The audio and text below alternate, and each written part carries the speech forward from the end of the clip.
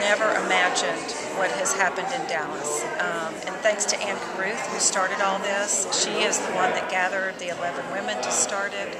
Um, and, and, she wanted uh, an organization that people could be a part of um, and in a loving and kind and proactive manner offer women um, the choice to say this is not your only choice is to go to a Planned Parenthood or to have an abortion, but look at the value of that baby. And um, what we have been able to do to raise money for crisis pregnancy centers, to help get sonograms, um, to help with uh, abstinence programs and character-based programs to get into the schools.